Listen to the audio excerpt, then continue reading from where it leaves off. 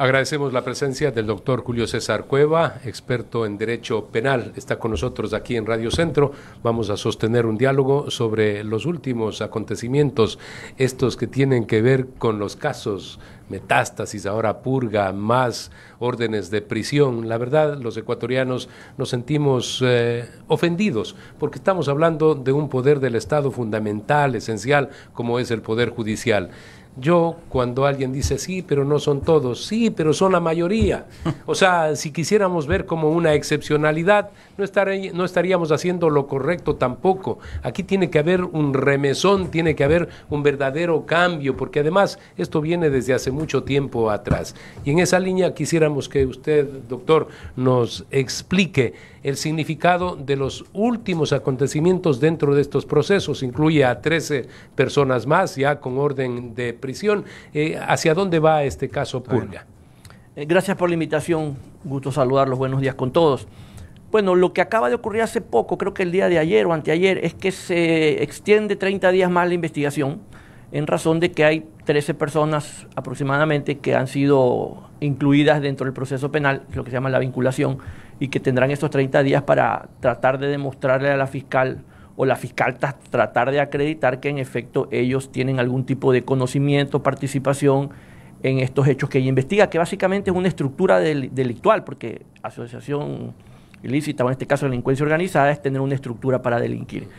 Eh, bueno, lo que la gente espera es que purga o metástasis o plaga sean el comienzo de una depuración a nivel general en la justicia y que tiene que ver con corrupción que no solo involucra a la justicia, porque esto realmente tiene que ver con toda la cosa pública, pero también tiene que ver con la forma en que el ecuatoriano promedio piensa. Julio César, el presidente de la Corte Nacional de Justicia que compareció a estos micrófonos ayer y que fue pues, para mí muy clarificador, la mayoría o, casi todas sus, sus respuestas, más allá de que Pocho estuvo bastante incisivo y preguntándole caminos de solución tú, al igual que yo que estamos en el libre ejercicio, tú más en la parte de la práctica penal, eh, hay muchos cuestionamientos con referencia al Consejo de la Judicatura, ¿no?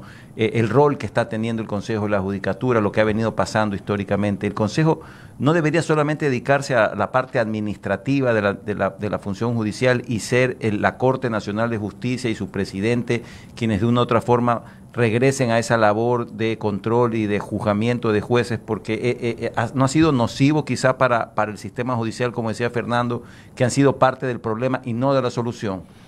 Bueno, el problema, como lo dije hace un momento, es tiene mucho que ver con la mentalidad del funcionario, porque si nosotros nos ponemos a ver cómo se elegía antes a, a ciertos funcionarios, el procurador, el contralor, y, incluso cómo se elegía la Corte Nacional de Justicia, intentamos todas las fórmulas posibles y ninguna funcionó, porque mientras la mentalidad del que tiene que elegir o designar sea yo te pongo, tú me debes, y el que llega dice, bueno, yo le debo, no importa la fórmula que tú apliques, el Consejo de la Judicatura tiene una génesis política y mientras eso no sea cambiado en la Constitución y en la mentalidad de quienes tienen que enviar las ternas, este problema lo vas a tener incluso si solo se dedican a administrar la parte que tiene que ver con la compra de bienes y de edificios y qué sé yo.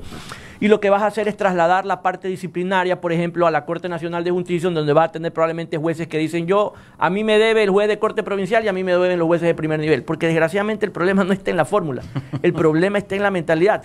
Y te doy un ejemplo, en los Estados Unidos quien dice o sugiere o plantea los nombres de los que reemplazan a los jueces de la Corte Suprema el presidente de Estados Unidos y quien finalmente designa es eh, el legislativo. No se les ocurre levantar el teléfono para decirle, oye, yo te designé, yo te nominé, me debes. Eso no pasa. Y Trump que lo intentó, la, jueza, la jueza que él le nominó le dijo, sí, pero yo no le debo a usted nada, así que esto es como dice la Constitución y la ley y resolvió el problema. Eso el Ecuador no existe. Y mientras eso no exista, puedes traer la fórmula de Suiza si tú quieres, esto no va a funcionar. Sí, doctor Cueva, buenos días, bienvenido. Hola, gusto saludarte, buen día. igualmente. Eh, un poco para, la, para los oyentes, eh, desde la perspectiva de quienes no son abogados, como es su caso, el mío, o el de Andrés, eh, aquí un poco entender dentro de los casos plaga, metástasis, purga, etcétera, lo que se investiga y lo que la fiscalía quiere acreditar es una estructura de delincuencia organizada. Pero eso detrás de eso tiene que haber otros delitos, ¿no? Y aparte de ello, lo que tiene ahorita y lo que es, digamos, mediático son las declaraciones y testimonios anticipados de Mayra Salazar, de Daniel Salcedo y, de, de otra serie de personas que están vinculadas a estos procesos. Sin embargo, hay algo más que tiene que hacer la fiscalía. ¿Qué es lo que la fiscalía debe, en este caso, acreditar o qué otros medios probatorios necesita para que esto llegue a buen puerto? ¿no? Porque la gente dice, ah, lo que dice Mayra Salazar lo que dice Daniel Salcedo. Pero tenemos que entender que eso no es suficiente para poder, digamos, dar una sentencia o condenar a ciertos actores o ciertas personas que están dentro de estos procesos. ¿Hacia dónde tiene que ir la fiscalía en estos casos? La fiscalía lo que hace al recibir esta información obligadamente tiene que verificarlo y lo puede hacer dentro de esa propia investigación o lo puede hacer abriendo una nueva, ¿verdad? Para determinar si lo que ellos dicen es cierto y poder entonces procesar a aquellos que puedan estar involucrados en aquellas situaciones que ella ha mencionado. Porque eh, en la doctrina eh, uno puede encontrar la lista de aquellas personas que dan testimonio que son los más creíbles y los menos creíbles. Bueno, y los procesados son los menos creíbles. Primero porque tienen el principio de no autoincriminación. Segundo, pueden acogerse al silencio. Y tercero, no dan testimonio bajo juramento, por lo tanto pueden mentir impunemente. Y aparte como pueden mentir impunemente, claro, pero cuando a los beneficios, si te descubren la mentira, pierdes los beneficios. Pero pueden mentir impunemente. Por lo tanto, cuando un procesado da un testimonio, es de lo menos creíble. Es a quien más hay que corroborar si lo que dice es cierto. Sobre todo si está hablando de terceros que pueden ni siquiera saber de lo que está diciendo, lo que está diciendo esta persona, porque si no imaginémonos, yo voy y doy testimonio anticipado y digo que me reuní con unas personas para darle un dinero a alguien y ese alguien termina preso y ni siquiera tenía idea de lo que estaban hablando. No se olviden que eso le pasó a una fiscal que se descubrió en los chats que estaban tratando de depositarle dinero en una cuenta para hacer creer que se había corrompido y esta señora no tenía absolutamente nada que ver. Entonces, hay que tomar con pinzas lo que estas personas dicen y la fiscalía lo que tiene que hacer es e iniciar las investigaciones para determinar si lo que ellos dicen, yo diría que a título de investigación previa, porque no es correcto tampoco que yo, ah, dijeron que usted estuvo en una reunión, ah, entonces yo lo, proceso, le pido prisión preventiva y después, ups, disculpe, le hago el dictamen abstentivo, pero mi buen nombre, ¿dónde queda? Entonces hay que tomar esto con, con pinzas. Claro.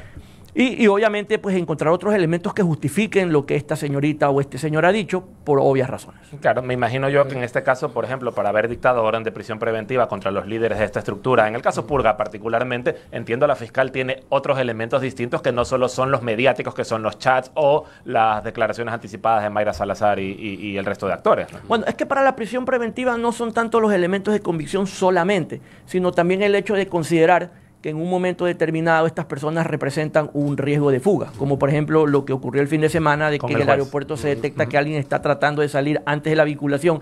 Y entonces pues se dan cuenta y ya cuando va a la audiencia el fiscal solo tiene que decirle, señor juez, los hechos públicos y notorios no requieren pruebas, si usted se está yendo antes, es verdad, no tiene una prisión preventiva, pero creo que es evidente que hay un indicio de una posible fuga. Y eso le, facilita la mitad del trabajo a la fiscalía y evidentemente la mitad del trabajo al, juez. Bueno, doctor Cueva, eh, tanto Mayra Salazar como Daniel Salcedo eh, entraron en esta nueva cooperación eficaz, nuevos testimonios, rindieron nuevos testimonios para tener ciertos, eh, ciertas prebendas, prebendas, entre comillas, jurídicas, ¿o no? A ver.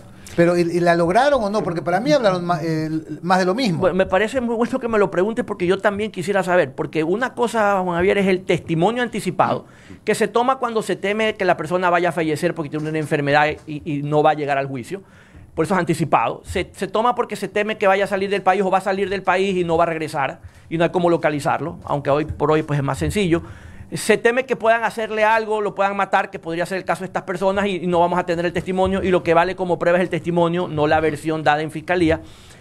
Y eso es una cosa.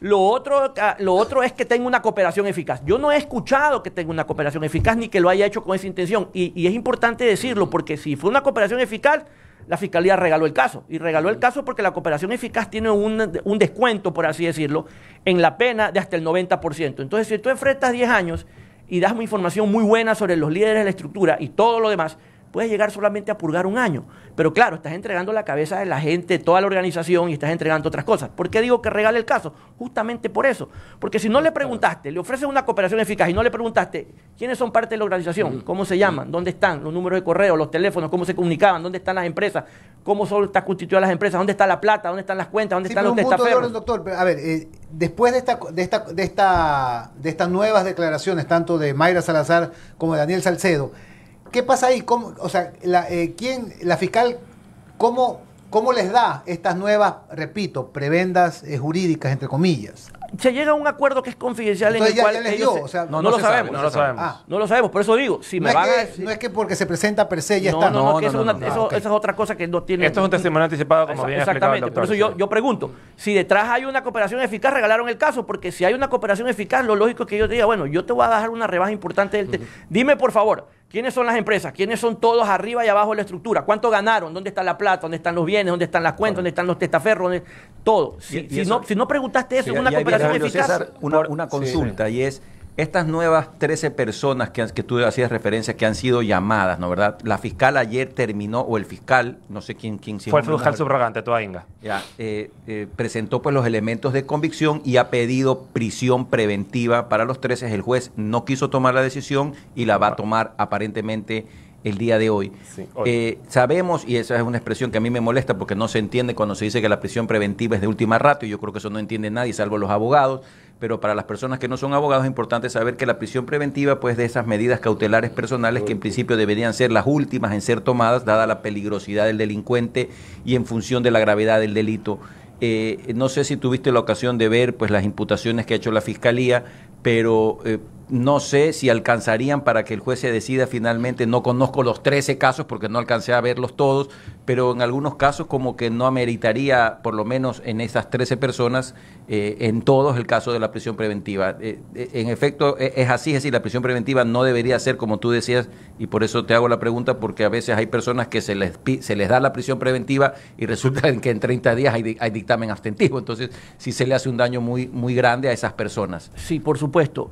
Primero es positivo que el juez diga tengo que suspender para estudiar porque eso evidencia que el juez no es que tenía anticipadamente tomada la decisión y eso demuestra que hay en cierta manera una independencia.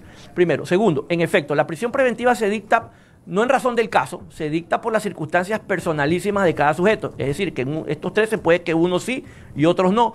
Pero aquí lo importante es lo siguiente, de acuerdo a las normas vigentes, la Fiscalía tiene que desacreditar, por así decirlo, cada una de las otras medidas cautelares, es decir, justificar que, por ejemplo, eh, el, brazalete es insuficiente porque se va a ir, eh, que vive en la frontera y en la frontera hay muchos pasos fronterizos, por lo tanto la provisión de salida del país también es insuficiente, que el señor es extranjero, tiene dos nacionalidades y no sabemos dónde está el otro pasaporte y aquí no tiene ni bienes, ni familia, ni nada y por lo tanto pues no tiene nada que lo arraigue al país. Entonces ir descartando ¿verdad? Cada una de las medidas cautelares y señor juez, la única que me queda que me va a garantizar que el señor se va a presentar al juicio y además va a cumplir la pena es la prisión preventiva. Si la fiscalía no hizo eso, uno por uno, el juez le puede decir, por insuficiencia de motivación o fundamentación de la fiscalía, me es imposible tomar la decisión de la prisión preventiva, por lo tanto la niego. Ojo, y como la, medida cautelar se dicta solo a pedido de la fiscalía, el juez no puede decir, le doy arresto domiciliario, le doy otra cosa.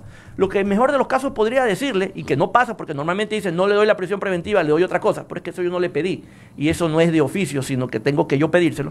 El mejor de los casos lo que puede decir, por insuficiencia de fundamentación, le niego la prisión preventiva, fiscal, pero le vuelvo a dar la oportunidad de la palabra para que me diga qué otra medida cautelar quiere, y entonces yo decido.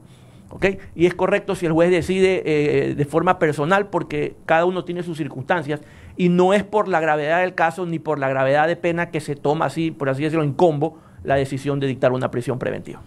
Cuidado, le entregan una medalla a la señora Mayra Salazar y al señor Daniel Salcedo, ¿no? Porque más o menos ellos creen que en esto son el centro del cambio y los que están haciendo justicia son aquellos, cuando están involucrados en varios casos. Aquí yo creo que tiene que haber mucho más fuerza porque no estamos hablando de delincuentes comunes, alguien que robó algo a alguien. Estamos hablando de una organización criminal en la función judicial, porque todo lo que ha revelado este señor Salcedo y la señora Salazar, todo ha ocurrido dentro del sistema judicial. Entonces estamos hablando de la compra de sentencias, la compra de libertades, la compra de habeas corpus con montos y el tarifario. Entonces yo creo que aquí la justicia tiene que poner todo el peso del castigo hacia estas personas. Qué mal se vería el que de pronto, pues como usted dice, se puede reducir si es que hay esa eh, cooperación eficaz que no sabemos si en este caso esa, esa, es la figura.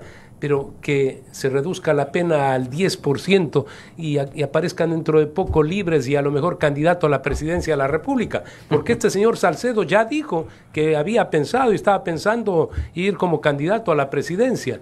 A lo mejor tiene en mente y muy claro el que puede salir lo antes posible y también ser parte de una papeleta electoral. Entonces yo digo, el castigo tiene que ser severo. Eh, y dentro del ámbito jurídico, eh, el purismo jurídico tampoco debe operar en esto, porque estamos hablando de gente que ha hecho, ha cometido delitos usando el sistema judicial. Entonces, en ese sentido, doctor, ¿qué es lo que podría venir? Porque además, todo lo han hecho por plata, ¿no? Se habla de que ahí quedan inmovilizados alrededor de 35 millones de dólares. Pero, ¿qué debe pasar con esos dineros? Esos dineros pueden ser confiscados, pueden llegar al Estado ecuatoriano para mejorar los sistemas mismos de justicia en lo tecnológico, en todo lo que implica, pues, eh, el tener ahí las posibilidades de un mejor funcionamiento. ¿Qué es lo que tiene que pasar? Bueno, empezando por el final, si la norma de extinción de dominio le da al fiscal, y creo que sí le da para este tipo de delitos, iniciar eh, eh, la, el procedimiento de extinción de dominio, por un lado. Por otro lado, la figura de la cooperación eficaz, primero, no es un invento de nuestro legislador. Sí tiene beneficios y sí funciona. Y funciona porque permite desmantelar estructuras que son mucho más allá o van mucho más allá de las personas que están siendo procesadas.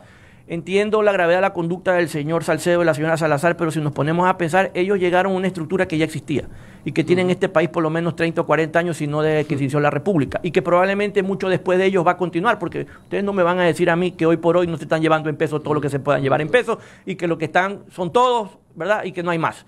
Entonces, eh, esto es más o menos así. Si yo capturo al, al, financiero de, una, de un GDO, de, una, de un cartel, bueno, yo tengo que como Estado decidir, quiero preso al financiero, quiero que me entregue al capo, a los todos los toda la estructura hacia arriba, y que además me diga dónde están las cuentas. Entonces, cuando yo hago el, pesaje, por así decirlo, cuánto vale tener preso al financiero y cuánto vale desmantelar toda la estructura, es más valioso desmantelar toda la estructura. Es decir, yo sacrifico, por decirlo, un alfil, pero me llevo la reina y me llevo el rey. Entonces, bien manejada la figura sirve y debe de tener esa intención mal manejada, usted, como acabo de decir, no se lleva nada, deja libre o le reduce la pena al uno y a una pena lo que tiene es conseguir que el señor finalmente, que eso hacer un procedimiento abreviado, se declare culpable y, el, resto, porque la estructura sigue funcionando.